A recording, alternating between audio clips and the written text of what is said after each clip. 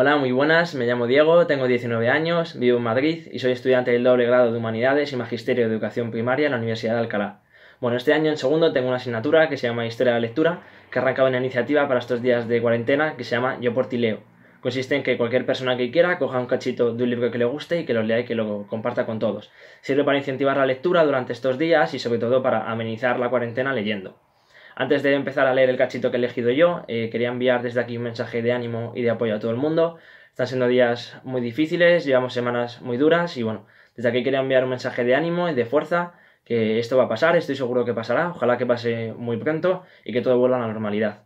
También desde aquí quería dar las gracias a todo el mundo que está trabajando, personal de limpieza, personal sanitario, transportistas, alimentación, supermercados y muchísimos más, pues desde aquí quería, quería también darles las gracias. Bueno, el cachito, bueno, el libro que he elegido yo se llama La insoportable levedad del ser y he elegido especialmente un cachito que habla sobre los sueños, porque me pareció muy interesante el análisis que hace sobre ellos, la reflexión que tiene y cómo qué significan y qué afectan a, nuestro día a día, a nuestra vida, y bueno, me pareció muy interesante y quería compartirlo con todos.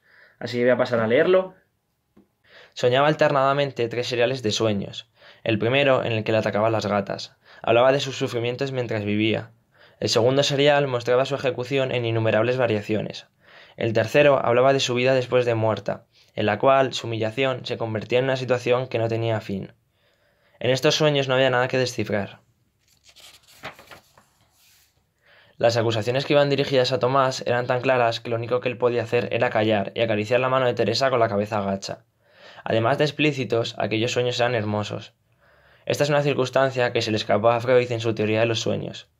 El sueño no es solo un mensaje, eventualmente un mensaje cifrado, sino también una actividad estética, un juego de la imaginación que representa un valor en sí mismo.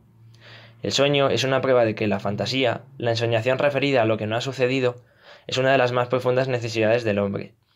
Esta es la raíz de la traicionera peligrosidad del sueño. Si el sueño no fuera hermoso, sería posible olvidarlo rápidamente. Pero ella regresaba constantemente a sus sueños, volvía a proyectárselos, los transformaba en leyendas. Tomás vivía bajo el hipnótico encanto de la atormentadora belleza de los sueños de Teresa.